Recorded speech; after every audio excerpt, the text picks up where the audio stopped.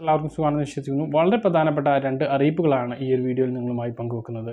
വീഡിയോയിലേക്ക് കടക്കുന്നതിന് മുമ്പ് ആദ്യമായിട്ട് ചാനൽ കാണുന്ന ആളുകൾ ചാനൽ ഒന്ന് സബ്സ്ക്രൈബ് ചെയ്യുക ബലൈക്കൻ എനേബിൾ ചെയ്ത് വെക്കുക. വീഡിയോയുടെ വിശദമായ വിവരങ്ങളിലേക്ക് വരാം.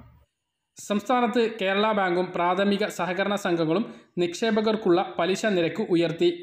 സഹകരണ മന്ത്രി വി എൻ വാസവൻ അധ്യക്ഷതയിൽ ചേർന്ന യോഗത്തിലാണ് പലിശ വർദ്ധിപ്പിക്കാൻ തീരുമാനിച്ചത്. പുതുക്കിയ നിരക്ക് നിലവിൽ വരുന്നതോടെ ദേശസാൽകൃത ഇതര ബാങ്കുകളേക്കാൾ കൂടുതൽ പലിശ ഇടപാടുകാർക്ക് ലഭിക്കുമെന്ന് സഹകരണ വകുപ്പ് അറിയിച്ചു. പ്രാഥമിക സഹകരണ സംഘങ്ങളിലാണ് കേരള ബാങ്കിനേക്കാൾ പലിശ കൂടുതൽ ലഭിക്കുക. പതിനഞ്ച് ദിവസം മുതൽ നാൽപ്പത്തി അഞ്ച് ദിവസം വരെയുള്ള കുറഞ്ഞ കാലയളവിലുള്ള നിക്ഷേപത്തിന് അഞ്ച് ദശാംശം അഞ്ച് ശതമാനമാണ് സഹകരണ സംഘങ്ങളിലെ പുതുക്കിയ പലിശ. കേരള ബാങ്കിൽ ഇത് അഞ്ച് ശതമാനമാണ്. ഒരു വർഷത്തെ സമയപരിധിയിൽ നിക്ഷേപിക്കുന്നവർക്ക് ആറ് ദശാംശം ഏഴ് അഞ്ച് ശതമാനം കേരള ബാങ്കിലും സഹകരണ സംഘങ്ങളിൽ ഏഴ് ദശാംശം ഏഴ് അഞ്ച് ശതമാനവുമാണ്. ഇതിന് ആനുപാതികമായി മറ്റ് പലിശ നിരക്കുകളും വർദ്ധിപ്പിച്ചിട്ടുണ്ട്.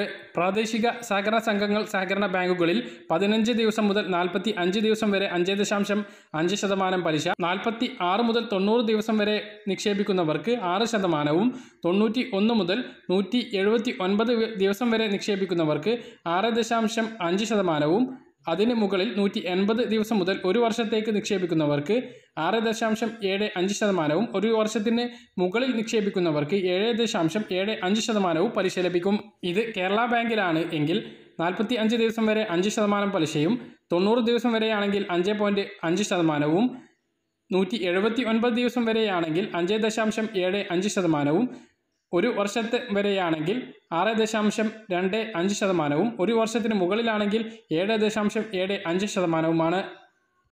പത്തു വർഷം മുമ്പ് ആധാർ കാർഡ് എടുത്തവർ വിവരങ്ങൾ പുതുക്കണമെന്ന് ആധാർ അതോറിറ്റി ഒന്നുകൂടി വ്യക്തമാക്കിയിട്ടുണ്ട്. ഓൺലൈനായും എൻറോൾമെന്റ് സെന്ററുകൾ വഴിയും വിവരങ്ങൾ പുതുക്കാമെന്ന് ആധാർ അതോറിറ്റി അറിയിച്ചിട്ടുണ്ട്. യുണീക് ഐഡന്റിഫിക്കേഷൻ അതോറിറ്റി ഓഫ് ഇന്ത്യയുടെ വെബ്സൈറ്റായ my Aadhaar dot U I D A I dot G O V dot I N എന്ന വെബ്സൈറ്റ് വഴിയാണ് പുതുക്കാൻ സാധിക്കുക. മൊബൈൽ നമ്പർ ലിങ്ക് ചെയ്ത ആളുകൾക്ക് മാത്രമേ ഇതിലൂടെ പുതുക്കാൻ കഴിയൂ. അല്ലാത്ത ആളുകൾക്ക് ആധാർ സേവനങ്ങൾ ലഭിക്കുന്ന എൻറോൾമെന്റ് സെന്ററുകൾ അഥവാ അക്ഷയ സെന്ററുകൾ ആധാർ സേവനങ്ങൾ ലഭിക്കുന്ന പോസ്റ്റ് ഓഫീസുകൾ മുഖാന്തരമേ സാധിക്കുകയുള്ളൂ. പെൻഷൻ വാങ്ങുന്ന ആളുകൾ പ്രത്യേകമായിട്ടും ശ്രദ്ധിക്കുക. നിങ്ങളുടെ ആധാർ കാർഡ് എന്തായാലും പത്ത് വർഷം മുമ്പ് എടുത്തതായിരിക്കും.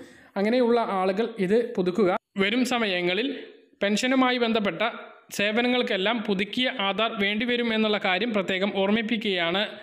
പറഞ്ഞ കാര്യങ്ങൾ കൃത്യമായിട്ട് മനസ്സിലാകണമെന്ന് വരുന്നു. ഇതുപോലുള്ള ഇൻഫർമേഷൻ ലഭിക്കാൻ ചാനൽ സബ്സ്ക്രൈബ് ചെയ്യുക ബെലൈക്കൻ എനേബിൾ ചെയ്ത് നോക്കുക. മറ്റൊരു വീഡിയോയുമായി നമുക്ക് വീണ്ടും കാണാം. ദൂരേക്കും ബൈ